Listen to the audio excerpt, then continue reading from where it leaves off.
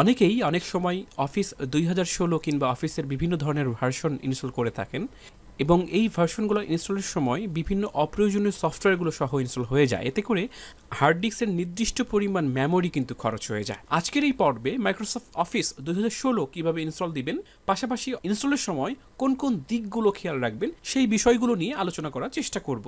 তো চলুন কথা না বাড়িয়ে শুরু করি। আমি ইতিপূর্বেই অফিস দুই হাজার ষোলো ভার্সনটি ডাউনলোড করে রেখেছি। আপনার কাছে যদি ডাউনলোড করা থাকে তাহলে ভালো। আর যদি না থাকে, তাহলে ডাউনলোড করে নিন অথবা নিকটস্থ ভাই ব্রাদারের কাছ থেকে কালেকশন করতে পারেন, পক্ষান্তরে বোনের কাছ থেকেও নিতে পারেন। এরপরেও যদি এই ফাইলটির হদিস না পান, তাহলে আমাদের ফেসবুক গ্রুপে পোস্ট দিন। এই ভিডিওর ডিসক্রিপশন বক্সে আমাদের ফেসবুক গ্রুপ রয়েছে। সেখানে পোস্ট দিন। সেই পোস্টের কমেন্টে এই ফাইলটার ডাউনলোড লিঙ্ক আশা করে শেয়ার করা হবে, সেখান থেকে ডাউনলোড করে নিতে পারেন। ডাউনলোড হয়ে যাওয়ার পর জাস্ট ডাবল ক্লিক করে ওপেন করুন। ওপেন করলে এরকম অনেকগুলো ফাইল এবং ফোল্ডার দেখতে পারবেন। তার ভেতরে সেট যে ফাইলটি রয়েছে, সেটিতে ডাবল ক্লিক করুন। কোনো মেসেজ যদি আসে, ডাবল ক্লিক করার পর ইয়েস, নো এই টাইপের, আপনি ইয়েস করে দিন। মনে রাখতে হবে যে কোনো সফটওয়্যার ইনস্টলের সময় সবসময় পজিটিভ থিঙ্ক অ্যাপ্লাই করতে হয়। যেমন next, continue I accept okay ইত্যাদি। এখানে যেমন আই অ্যাকসেপ্টে আমি ক্লিক করলাম, এরপরে আমি কন্টিনিউ বাটনে ক্লিক করব। এখানে ইনস্টল নাওতে ক্লিক করলে এই প্যাকেজের আওতায় যতগুলো সফটওয়্যার রয়েছে সবগুলো ইনস্টল হবে। কিন্তু আমি স্পেসিফিক কিছু সফটওয়্যার রেখে বাদ বাকিগুলো ইনস্টল করতে চাচ্ছি না। এই জন্য কাস্টমাইজে ক্লিক করব। কাস্টমাইজে ক্লিক করে এখানে যেগুলো আমাদের দরকার নেই, সেগুলো আমরা নো করে দিব। জাস্ট যেমন আমার স্কাইপি ফর বিজনেস আমার দরকার নেই।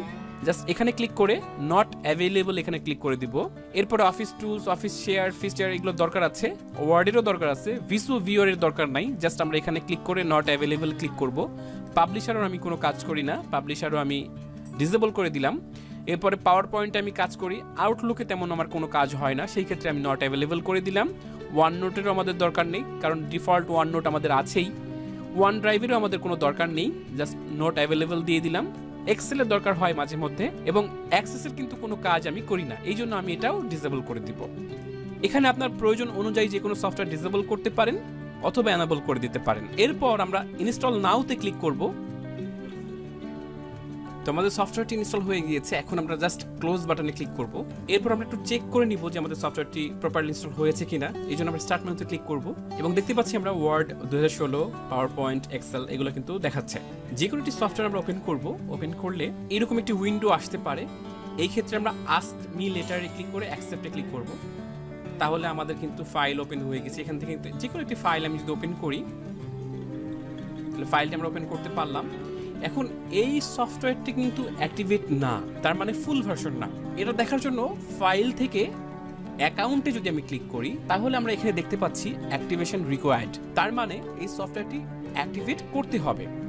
এই পুরো প্রসেসটা কীভাবে করতে হয়, সেটা আমি গ্রুপে আলোচনা করেছি এবং সেখান থেকে খুব সহজে কিন্তু আপনি এই অফিসটি অ্যাক্টিভেট করে নিতে পারেন।